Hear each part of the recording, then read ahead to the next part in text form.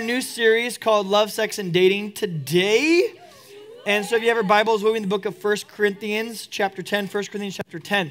Now, as we conclude our series in the Chivalry Workshop, which we've been doing the past three, three Wednesdays or so, because we had a week break in between, we, wanna, we really want to look at, okay, what's going on with sexuality and dating and marriage in our culture in particular. Now, there was this, there was this thought that kind of permeated the end of the 19th century that as we made more progress in the field of science and biochemistry and uh, molecular biology, that Je- Jesus would be done with, right? God would be no more. This is what Stephen Hawkins postulated.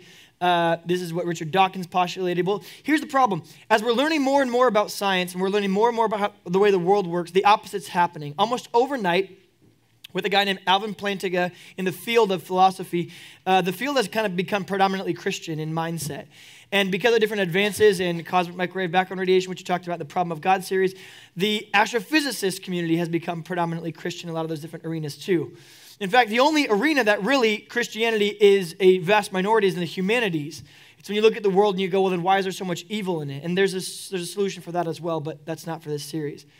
But one of the things that fascinates me most about Scripture is this this book that's 3,500 years old, 2,000 years old, depending on what part of it you're reading, we're catching up to it. That, that blows my mind. We are, with all of our advancements in, in every single bit of what we know about the telescope and the microscope and everything in between, we're catching up to what the Bible says. Like we're behind. So as we make these grand discoveries about certain things, you know, like in particular, today we're going to talk about the brain's neuroplasticity. And you're like, that sounds boring. Trust me, it's not. Maybe it is for you. I shouldn't say trust me, because then you might go, you're a liar. But the idea is that your brain is moldable, it's shapeable, it's malleable, it's Play Doh. It can be changed and, and addressed and, and, and morphed into something different. Your brain is not static. If it were a character in a show, it would be a dynamic character. It, can, it, it has it's got a mind of its own, you might say. But it takes on the very attributes that you give it. So you tell your brain how to think. Your brain is neuroplastic. Now, it's ironic, is Scripture's been talking about this for thousands of years in the book of Romans, chapter 12. The writer, Paul, says, Now, here's what you need to do. To begin with, you need to begin by renewing your mind. Okay? It says, Therefore, brothers and sisters, in view of God's mercy, offer your bodies as living sacrifices, holy and pleasing to God. Then you'll be able to test what His will is, His good, pleasing, and perfect will. How? Out of the renewing of your mind, the transforming of your hearts. So the whole idea was this: is we're just starting to realize we're going, Eureka! We discovered your brain is neuroplastic, and people are winning medals of science and, and brilliant genius level things, and they're writing dissertations. And I think the Bible's sitting here going, wait, what? That's a 2,000 year old discovery, right? Every advancement, we're actually catching up to what Scripture says. We're, we, we had this, we gave someone a, the friggin' Nobel Prize for discovering that air moved in cyclones and not in a single direction. And the scripture says, way back in the Old Testament, the book of Job, that air moves in cyclones. It's circular patterns. And so sometimes what, what flabbergasts me more than anything, what, what, when I say that, I mean what, what I think is really cool about scripture is that when we dive into it and we trust it in every aspect of our life, our life is better because God invented you. Why would we not give the one who invented you say in how you live things and live things out? And you go, but that book's archaic. My argument to you would be this we have not seen in our generation or the generations before us a more sexually liberated society than the one that we live in right now.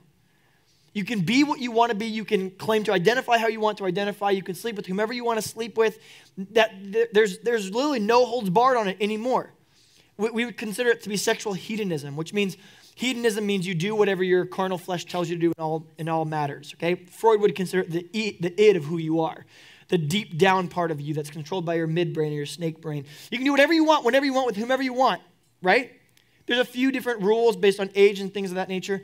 But outside of that, it's kind of it's kind of like Marcy's playground. It's kind of do whatever you want to do at all times. And but here's what we're seeing. In research that is done by people, the people who are the most quote unquote sexually free to express themselves however they want to, even to a point of, of overly expressing themselves to a point where they would consider it an addiction the lie that's been fed to us is the more sex you have, the more secure you're going to feel. If you want to be wanted, then wear this thing from Victoria's Secret. Then the guys will want you, and when they want you, they'll sleep with you. When, you, when they sleep with you, then, then you'll find your true worth. right? This is the lie we've been fed. Eat this, don't eat that. If you eat this candy for some reason sexually, is why do you have to eat the candy that way? But on the commercial, they're like, mm, indulge your senses, right? And it's and she's like a model. It's like, how do those things correlate? She's eating candy, and yet she is very fit, and things have been done to her to alter her body. Like, what, what are you trying to feed me? Well, it's trying to feed you a lie again. Which is, well, look, if you're having any kind of a trouble, if you eat this thing or you buy this thing, then people will want you. And we that's like the pinnacle of what we think. Well, if I can just get people to want me, if I'm cute enough that people want me, if I'm popular enough that people want me, then I will. We always have an end goal in mind, which is satisfaction, identity, value, worth. This is what we're actually chasing this worth, this knowing who I am and being proud of it and being okay with it. A group of people researched the group of people who consider themselves the most sexually free, and here's the answers that they got from it. In a survey of the people who consider themselves so free to the point of they actually were a little bit. Um, they were so liberated by the sexual experience, they would actually consider it to be an addiction. We would look at these people, and if we keep believing these lies that the more sex you have, or if you're wanted by someone, or if a guy thinks that you're hot, especially enough to take everything off of you and to love you, whatever love you want to call it, we would think, well, if they're doing it more often, then they should have the highest levels of value, satisfaction, things of this nature. Conversely, those who aren't having sex in such a manner that is, that is completely hedonistic, but they're actually adhering to certain things and they're understanding biblical concepts, we would expect those people who are from the stone ages, right? Like, you're going to have sex with one man for the rest of your life. Good luck, prude, right? They are the least sexually, quote unquote, liberated. Therefore, we'd expect them to have the lowest levels. And the 25 year old guy in college who is the leader of the frat house that can get a new girl every night, we would expect him to have the highest level of satisfaction sexually because he's having it more often. He's having it novelly. That means it's not even, he has a new kind of person every day.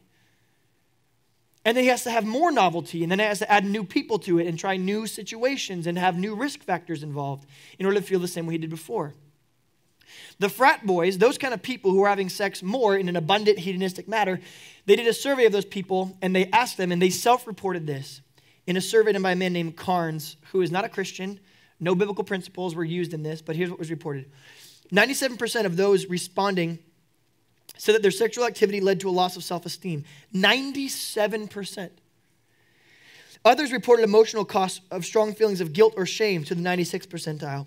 94% said they felt isolated. Is- isolated, I said that weird. They felt isolated and lonely. But what?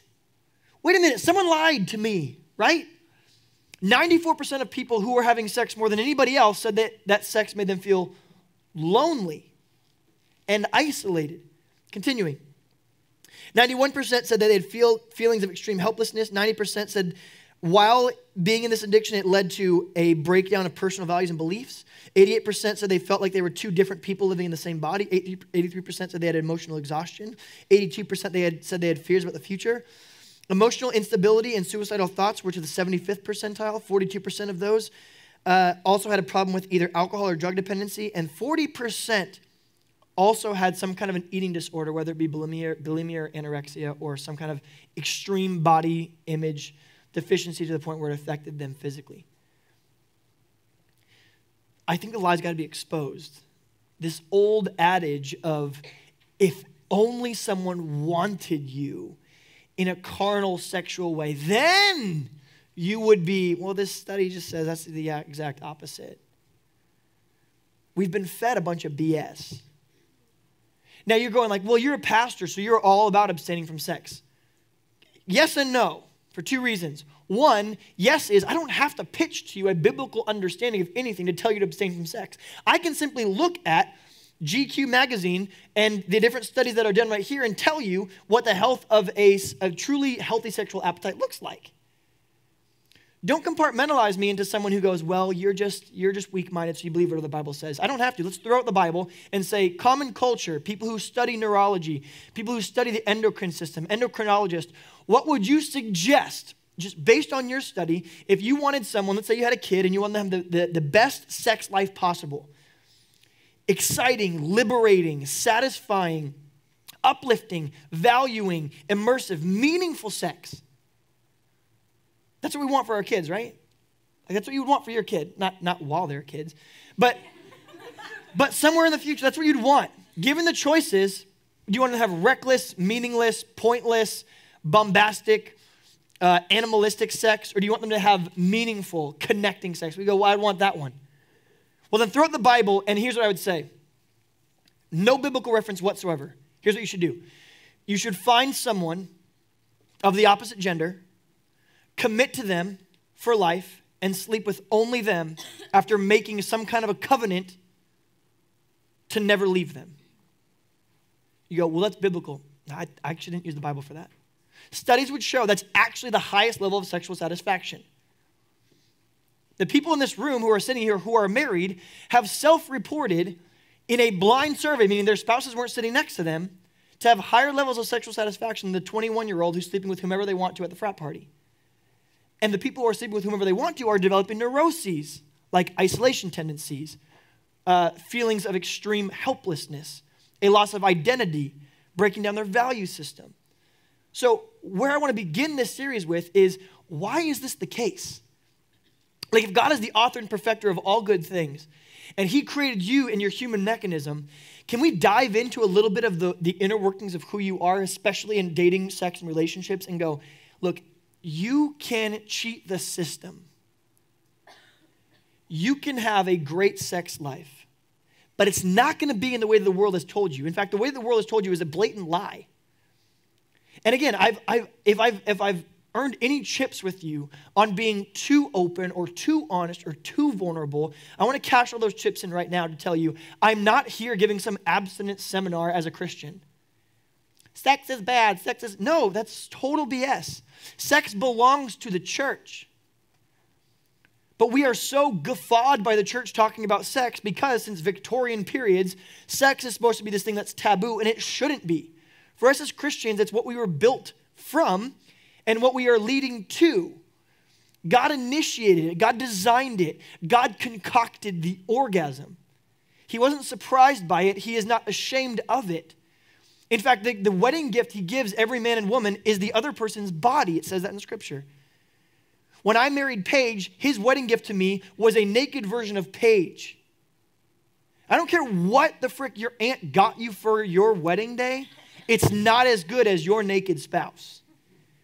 It's the best. And there's an exploring and there's an understanding and there's a seeking and there's, there's a vulnerability that goes along with that. And God isn't shocked or freaked out by any of that. And yet we sit in churches when someone says sex and we go, that's not for you to talk about. That's inappropriate for church. What do you mean it's inappropriate for church? It was born in the church. It would be like if someone else was talking about baptism. We'd kind of be like, Did you say baptism? That's a church word. Well, the other day I was in the river and I just baptized myself. It's like, you don't know what you're talking about. That should be how we should see sex. When someone goes, Well, we were having sex, we should go, What do you know about sex? God made it, God invented it, God initiated it, and He also gave us plans on how to use it to satisfy us most. And the outside world has taken it, carnalized it, hedonized it, and said, This is what sex is. We should be looking at the outside world going, What do you know about sex? We should look inwardly at the church and go, This has got to be the place we can talk about sex. To not talk about sex because we're ashamed of it is to tell God, mm, we've kind of quit on the whole sex thing. We've just given it to the outside society. I'm, I want to redeem it. It's His. So we have to stop blushing at the talk of sex, thinking that that's what our other people talk about, not what Christians talk about. That's totally bass backwards. It makes no sense whatsoever. It flies in the face of everything else we know to be true about the gospel and about God Himself. He invented sex. He invented your endocrine system, but he invented it for a different reason. 21st century dating has taken the endocrine system that was supposed to be used to, to glue two people together for a lifelong marriage, and we have decided that we are going to take certain parts of that concoction and certain parts of that chemistry, and we're going to placate it for our own wants and desires. And for some reason, it's not working. Is it?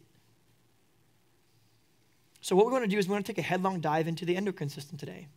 You might not be excited about that. That's fine. You can sleep. I don't care. But I think it's going to help give a lot of understanding to the way that you and I work, especially in terms of love, sex, and dating. So as we begin this series, we can all have a foundational platform to use certain verbiage again and again throughout the series without having to explain it every single time. So, This is what Helen Fisher, she's a, she has a doctorate. She's actually a pronounced atheist alongside of Richard Dawkins, who is one of her companions. And so they, they, none of this is coming from a biblical point of view. None of this is coming from a Christian scientist. So don't think like, well, that's really self serving. No, she does not believe in God whatsoever. And so this is what she found, though. She talks about in a book called Why We Love, kind of this four stage process of, um, of attraction. She has three stages, but the Bible has four stages. We're going to use the biblical understanding, at least in the fourth stage. But the first three we're going to take straight from her book. Important to know about this is when I say stages, it's not stages like stairs, like one has to lead to the other, and you need the one before it to predicate the one that you're on right now. That's not the case. They're basically three different lanes. Now, the healthiest situations kind of build one on top of the other, but it doesn't have to be, and, and we'll explain that more as we get going. So, if you're taking notes, I would really encourage you to do so, even if it's on your smartphone or whatever it might be, because we're going to be talking through these things, the hormones that are involved with them, and how it actually transforms and molds your brain to think the way that you think today. In 21st century casual dating society, why everything is so broken, and what we can do to prevent ourselves from falling into the exact same trap. The first part of that process is called lust. Okay? The first part of that process is called lust. Lust, it, basically, the culprit of lust is two hormones that are self same responsible, which is estrogen and testosterone. Okay? Obviously produced from the reproductive organs of both men and women. This is kind of the most carnal part of who you are when it comes to your sexual appetite. Okay? They did a survey and they put a guy in a room with a girl for four minutes, just under five minutes. And they found that in that room with that woman, even if he didn't find her attractive initially, that his testosterone boosted an average of 8% in the first five minutes. So, this endocrine system, your hormones, without you even knowing it, were changing. What they noticed in his behavior is that he stood up straighter. His shoulders were arched back more. He used a deeper tone as he continued to talk to her. He used bigger flailing gestures to show power, to show domination. This, is, this was subconscious to him. This is the first step of what we know to be the attachment or the attraction process is lust. Okay? Lust is a strictly self-serving hormone. Okay? So when, when your body excretes testosterone, it doesn't ask questions like, what's good for them? What do they need in their life? What is healthy for them? Right? It's pornography is, is built in lust. It says, you'll do what you need to do to help me accomplish what I need to accomplish. It's strictly selfish. Okay? Lust is a strictly selfish endeavor, as it were. So when you're walking by and some girl has a lot of stuff hanging out and you're watching her and you're like tripping into things, you're like, oh, she good looking, right? You're, you're, not, you're not asking questions like, I wonder what her dreams are. You're asking questions like, I wonder what she looks like naked, right? That's, the, that's what lust asks. It's all about me. Lust is all about me. Now, what happens when you begin to lust after someone is that there's a part of your brain called your prefrontal cortex, and lust, your testosterone, your estrogen, basically, if it were a minion, the minion would like run up into your brain to your prefrontal cortex, which makes your decisions, and it switches that light switch off. So now your testosterone is like, I want her. And then your decision making part of your brain that says, probably shouldn't take your shirt off, gets turned off. And so now this is where we find ourselves. We go, dude, you're making dumb decisions. And it's like he can't stop it. In the middle of that pattern, he is kind of completely subjected, and enslaved to his endocrine hormone system. So maybe you're walking down the hallway, or uh, let's use the term of like a girl. If you're a girl and you're dancing like at your prom, and it's like girls just want to have fun, and you're dancing like this because you're just dancing with your friend, but then you see him, and you see him moving from across the room, and you're like, hmm. And then your friends are all around you, but then you start doing some like provocative junk, like pop, lock, and drop, and you're doing some weird, and your friends are like, what's going on? It's like the reason that you're not aware of what you're doing, even though you look so dumb, is your estrogen has reached up and gone, turn off. And so you're like, you're like winking at him and you're like playing with your hair. And your friends are like, What are you doing? You're like, I don't know, I can't help it. I just look at my body, look at my things. I didn't mean I didn't mean things. I meant I meant my accoutrement. I my hands were in the wrong place when I said things. Stop it. I don't I guys, we're gonna do a whole series called Love, Sex, and Dating I'm going to make more mistakes than that. I apologize. I didn't mean that. So, this is why you might, some of my most cringeworthy moments as a human being are in the pursuit of someone that I was lusting after. You know what I'm talking about? Where in the moment you're like, this is a great idea. And afterwards you're like, did I really do that? Did I legitimately do that? Right? And it could be a number of different circumstances. But you find yourself doing really dumb junk.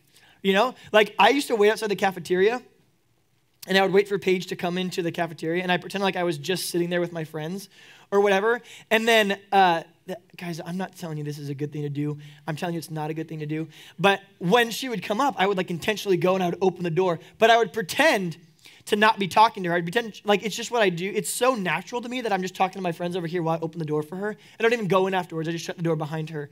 Like I'm just that level of etiquette. And that she was gonna go like, oh wow. Look at look how polite that guy is. I totally want to love him forever. But it was these, it's these little things that otherwise you would go, what am I doing? Right? Maybe it leads you to get up and sing a song where you wouldn't normally sing a song, or maybe it makes you say something you wouldn't normally say.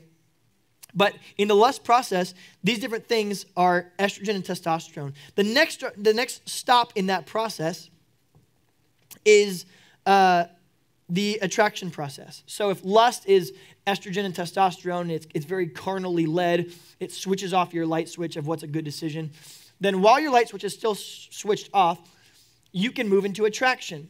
Now, again, they don't build on one another and they don't have to be with one another. Some of you know this. Some of you are really good friends with someone, and then all of a sudden one day you were like, By Jove, I think you're pretty. But you were never in like the, oh my gosh phase at all. You went straight from like, oh yeah, I, I developed a weird attraction for you, but it wasn't even born out of lust. So they're not, it's not one leads to the other necessarily speaking. Probably in, in, in most secular relationships, it is based primarily on lust, which then can move towards attraction, but it doesn't have to be that way. A girl that I dated for three years in high school, her name was Allie we were really good friends and we, would, we had class together all the time, but we just related really well. We helped run the Bible club together at our school, which sounds, again, that's one of those things I go like, why do we call it the Bible club? But anyway, it was kind of a nerdy thing to call a Bible club, but it, I guess it was a Bible club. Anyway, one day I remember we always sat on the curb after school, like waiting to get picked up or waiting to walk home or whatever. And, and one day I walked out and I went like, oh, wait, I think I might be attracted to you. But I didn't have that lust like, you know, the coyote in the, the cartoon where like his jaw drops and his tongue like flails out and his heart's like, like that didn't happen to me. So again, don't think they have to build on one another. But the second phase is called attraction. Attractions, the main culprits in your endocrine system for attraction are threefold adrenaline, dopamine, and serotonin. The attraction phase is what M. Scott Peck in the book The Road Less Traveled would call cathexis. It's a, it's a fancy word to call, we would use the word obsession, okay? Which, before I was studying this stuff, I was like, well, obsession seems like a pretty strong word, but it's actually a very carefully chosen word, and we'll find that out here in a second. Adrenaline, in your attraction phase, where it goes beyond lust now to like, oh, I think I like that person. Like that's the verbiage we use now. It's like, no, I like them. Like I'm attracted to them. Okay? The first part of that is adrenaline. Adrenaline triggers our um, kind of like an emergency response system, okay? Which is funny because when we interact with someone that we find attractive, our emergency response system kicks into gear. Most people's emergency response to a situation isn't parochial or romantic or pleasant or well thought out, right? Like if this building started on fire and your adrenaline kicked on your emergency response system, you wouldn't be you wouldn't have some quippy joke to tell. You wouldn't be polite. You'd be like, "Let's get the frick out of here now!" You would run and you would like punch people on your way, and that's how you would act. Well, that's exactly what happens when you run across this person. When you become attracted to someone and you fall into this obsession state, then you, they're like walking by you on the hallway and like maybe you're just holding your books and just thinking about your day or maybe thinking about him and then he walks like right beside you and you're like saying your name with his last name you're like savannah williams. I like that. Savannah williams. And he's like what'd you say? And then it's it's it's trent williams himself. And you're like no nothing. What? Why are you here? Where'd you come from? Want to see a cool trick? I can turn oxygen into carbon dioxide.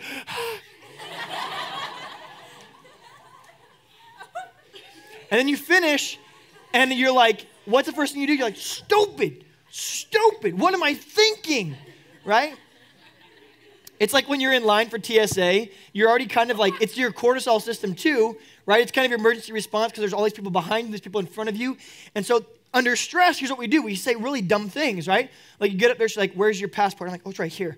And where's your, where's your identification? Oh, that's right here. She's like, okay, cool, enjoy your flight. You too. Oh, you're not flying anywhere, are you? Then you turn around, you're like, hey, but listen, you're not flying anywhere. I know you know that, but you're Sir, please move on. I'm just, I want to make sure that you know that I know you're not flying or you work here, but you never fly anywhere. Maybe you fly somewhere. I don't really know. And she's like, Sir, please just leave. In fact, I revoke your ticket. Get out of the airport. So that stress is the same thing that happens when we bump into someone that we have an obsession with, which is why it generally doesn't go well. You ever notice that? Where like you have this, you're in the shower before and you're like thinking out what you're gonna say next time you talk to him, and it's like perfect. And there's like music in the background and stuff like that. And then you see him and you're like, what's what's your what's your favorite? what's my favorite what? But I love you. What? No. How many kids you want to have? Stop it.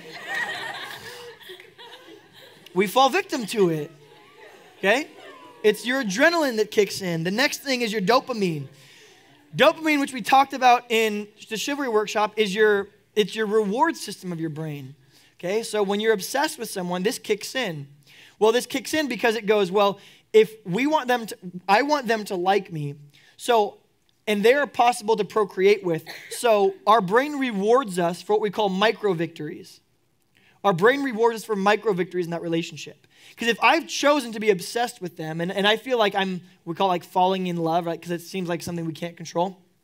So if I'm obsessed with them, then my brain goes, well, if that's the person that we're married to, which this is what your brain thinks. Because again, with casual dating, we do everything backwards. In an ancient Near Eastern society, the first time you met someone generally was when you married them. So your brain is triggered to then be obsessed with them, which is really good when you're starting out a marriage together. But we do this when we first meet people and when we're dating them, we go into obsession. This is why it doesn't end well a lot of the times. Because we haven't made a commitment or a covenant before to stay with them forever. So sometimes this breaks up our relationship because we go into like hyper freak out mode. Okay? So dopamine triggers that pathway. So we have micro victories that our brain gives us huge rewards for. Why? Because in marriage, what's, what's supposed to happen is that you're supposed to get huge amounts of dopamine for micro victories like she grazed my arm because this is our first day after we got married. This is awesome. So your brain's trying to reward you for that stuff to connect to that person. But you're not married to them, you're not even in a relationship with them, and you're casually dating them, maybe. So your brain gives you micro victories for weird junk. Like, I remember the first time Paige ever sent me a Facebook message back.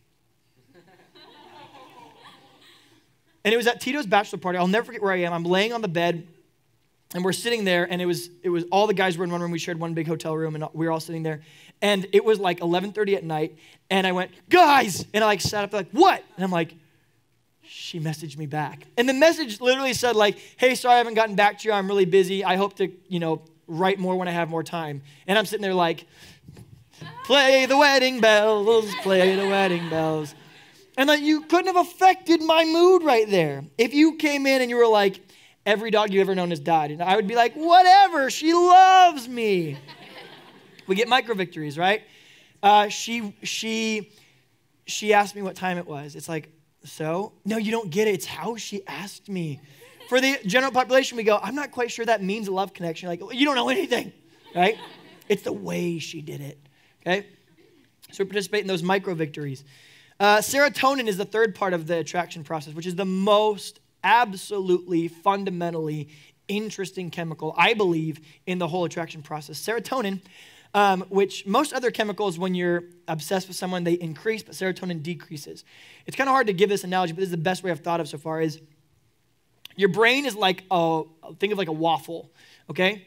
And every one of the little pockets in your waffle is a different part of your life, okay? Now, waffle walls, those little, the, the, the sides on them are actually taller for guys. Guys, we have taller waffle walls, okay? Which means we're better at compartmentalizing stuff, right? I, I remember this conversation with Chris Brown one time. We're, I was sitting in his office. We probably talked for like two hours straight about things. We were laughing. We are talking about fishing and junk like that. And then I'm about to walk out of the, I walk out of his office and I go, oh, I forgot why I came in the first place. My grandma died on Thursday. And he went, are you okay? And I'm like, yeah. Well, I, why didn't you bring it up? Because we were talking about fishing. What do you mean, why didn't I bring it up? we weren't talking about grandmas and whether or not they were alive. We were talking about fishing, like that, you know? Or you guys ever like grow up and you had a friend on your block that you played with every day, and then one day your mom was like, What's his name? And you're like, I don't know. His name is Kid in the Yellow House. Like, uh, you guys played together for 37 hours this week. I, I don't know. It didn't come up. It just wasn't a thing. We compartmentalize those things. Or my wife's always like, So what'd you do today? Well, we went golfing, You went golfing, so you were at a car with him for like six hours. How's his family doing? I don't know. What do you mean you don't know? And I'm like, we were golfing. it, wasn't like, hey, nice putt. By the way, how's your family? Right? It just didn't come up. We compartmentalize things. Women tend to be more of a chicken pot pie mentality, where it's like carrots, peas, gravy, all stir that junk around into one big pot of thought, right? So one thing tends to influence everything else, right? Like I'll talk to, I'll be like, hey, how you doing? She'll be like, fine. And I'm like, what's your deal? She's like, last night I had a dream that my boyfriend cheated on me. And why are you being snarky to me? You're pastor. Like, why are you? Oh, you don't understand. And I'm like, you're right. I don't understand. Your waffle walls are so tiny. You have, you have miniature waffle walls. Yours like a mini waffle, okay? And everything just influences everything else. Now, what serotonin is, is serotonin is the chemical in our body that when it's necessary, it allows us to get over those walls into the next wall. Think of it as almost like a syrup. That if you had syrup in your waffle pit and then it would go up and you could swim from one to the next, high levels of serotonin allows us to make connections, right? Like if I date this person after having almost dated her friend, and then I start dating her, that's going to lead to really bad things. But when you're obsessed, your serotonin drops. Your serotonin decreases. So your ability to make conscious decisions based on all of your relationships and all of your emotions goes bye bye. So you are stuck with much higher waffle walls that don't communicate with one another. So when you go like, why are you asking her out? You were just dating her friend. You're like, why does that matter? And everyone else is going, what do you mean? Why does it matter? Of course it matters. But with your low serotonin, because you're obsessed, you just go, I don't get it. Why would that be an issue? What do you mean? Why don't you?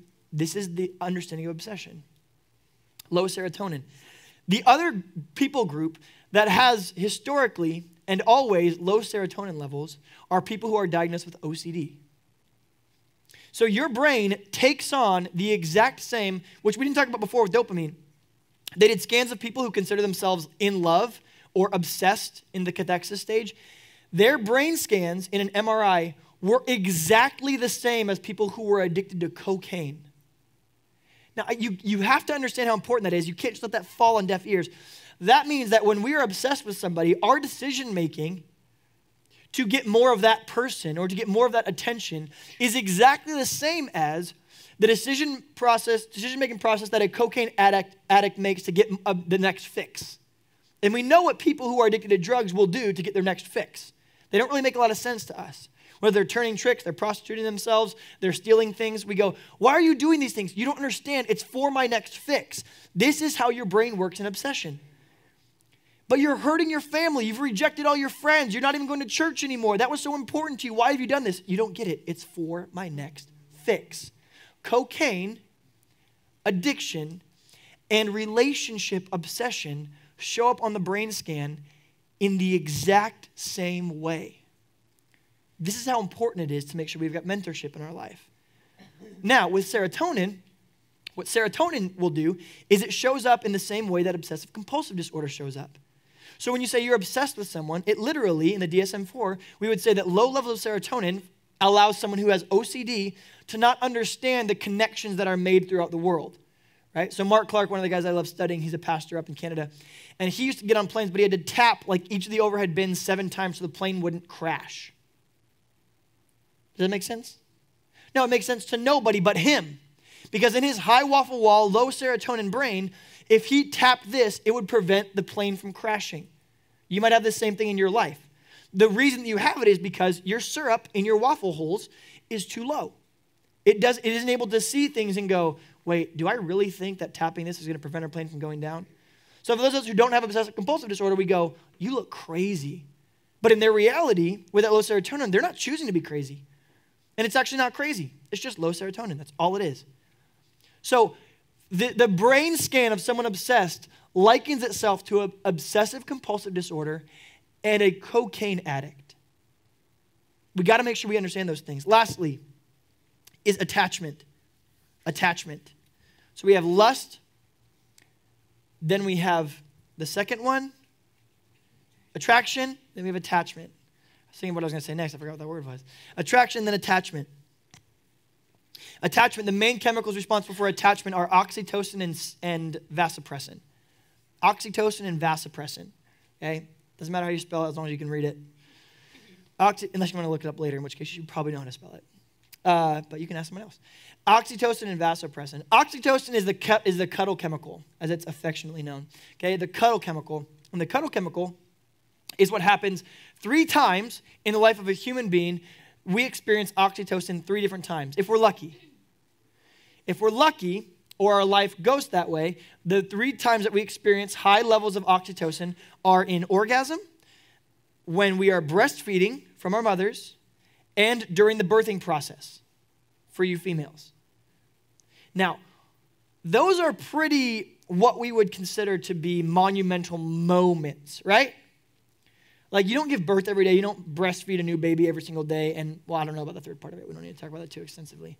But I'm trying to liken it to understand the same chemical cocktail that God made for a woman to connect to her baby who's going to be screaming for the next three months when she's trying to sleep, but still permits her to go, whatever, it's my baby. Whatever, it's my baby. Whatever, it's my baby. That's oxytocin. It stops your brain from going, get rid of that thing. It keeps whining. It's, shh, you're so whiny sometimes. Now, sometimes that actually happens where oxytocin is blocked, and that's where you get this kind of rejection of the parent from the parent of the kid.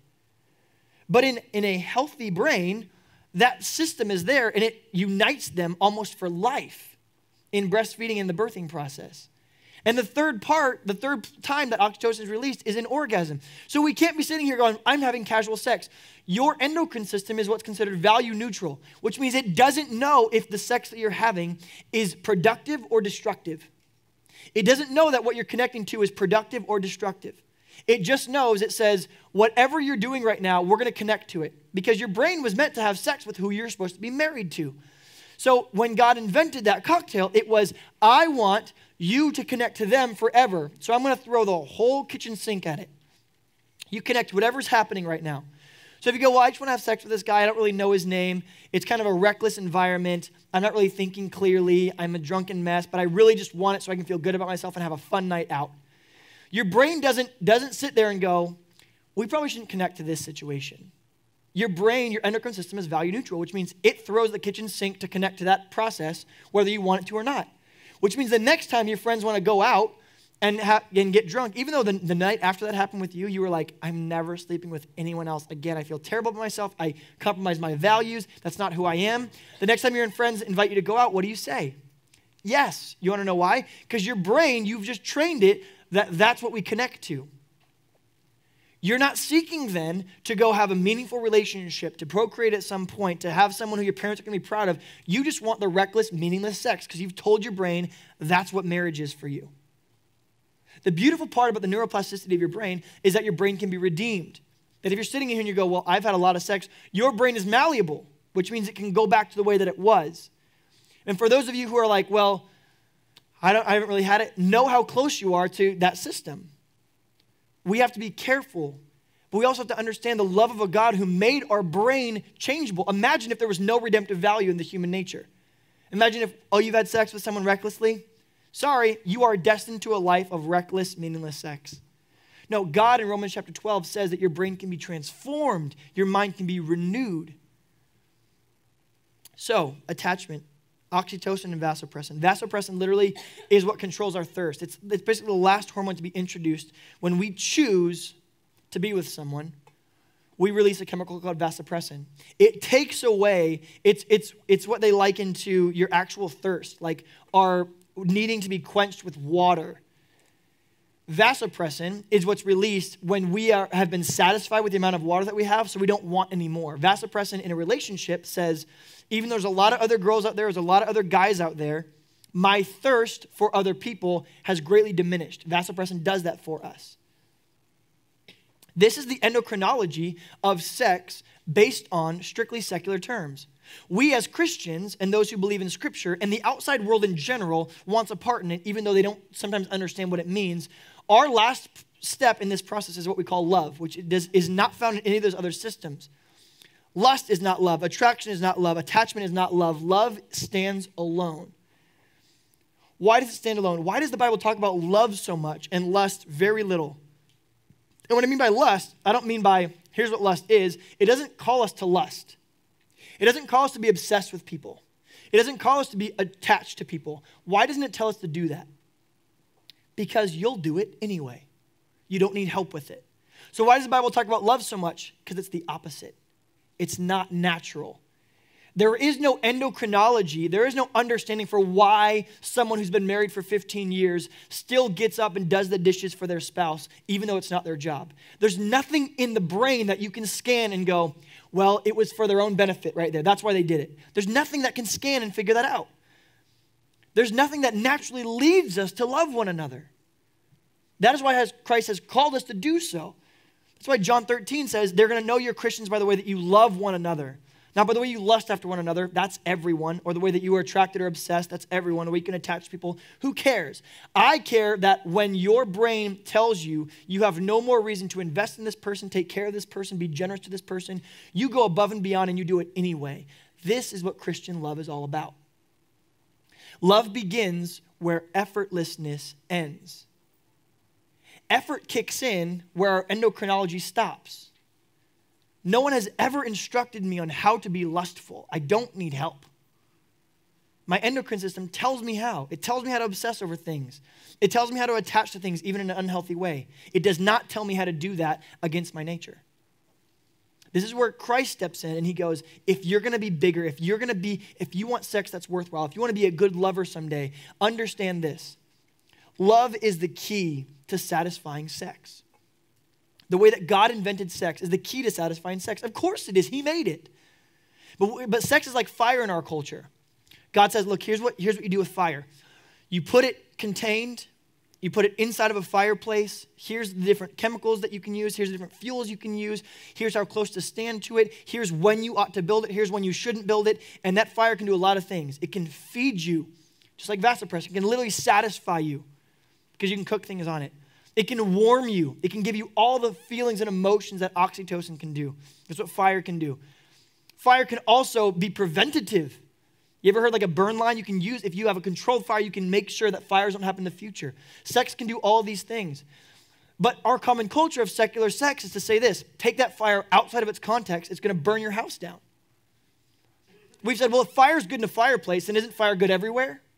Like, if sex is good in the confines of marriage, can we take sex outside of marriage and it's just as good? The answer is no. We sit here and we try to have sex with whomever, whenever we want to, outside of his boundaries, and our house is collapsing on us, and we're going, maybe the answer is more fire. The answer of the sexual addicts who are in this survey, 97% of those who said they have a low self esteem, the answer to the lack of meaningfulness they find in sex is almost always what? More sex. I'm not coming to you as a pastor here pleading because God really hates sex. God invented sex, He instituted it, and He gave it to us. I'm coming as someone who, as a pastor, as a husband, wants you to grow up and be great lovers in your marriages. I want you to have a great sex life. You're like, you're not supposed to say that in church. I don't care. They can fire me if they need to. You want to have a great sex life. I want you to have a great sex life. Why do we talk about pornography pornography so much in here? Because it kills your sex life. Why are we talking about casual dating and the toll, toll it can take on you? Because it can ruin your sex life, it can ruin your marriage. I don't give a rip if you're a great dater. I care very much if you're a great husband or you're a great wife. And if we don't start retraining our brain right now, we cannot wait till we get married to go, and day one, you're too late. Your brain's already been trained to want meaningless, reckless, casual encounters. But if you want to be more than that, if you want to be someone who you, you, don't love, you don't have sex with 40 women in one year, but you have sex with one woman for the next 40 years, and you you mean something, you're purposeful, you're intentional, you are going to report the highest level of satisfaction more than anyone else in your culture. Because you went completely against what was natural. And you chose love. And you chose this archaic, old, antiquated book that shockingly was written by the one who invented sex. And he says, I didn't write this to have you abstain from any joy. I wrote it so that you could have life and have it to the full, John 10 10 says. That includes sex. So we need to retrain our brains to want what is best for us and not what is simple and easy. We need to give up what we want now for what we want most. We have to starve what we want now to be satisfied with what we want most. Let's pray.